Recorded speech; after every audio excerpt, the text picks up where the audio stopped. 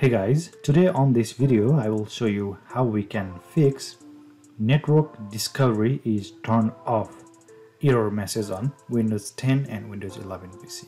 So let's get started. First of all, let's open control panel and for that open run dialog using Windows and R on your keyboard.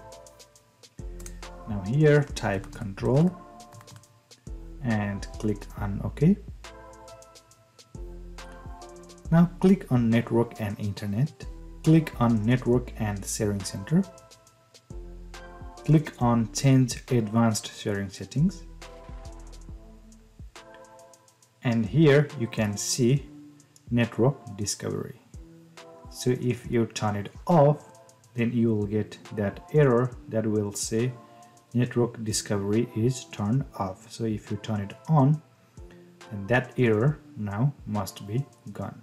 So this is how we can fix the error network discovery is turned off on Windows 10 and Windows 11 PCs.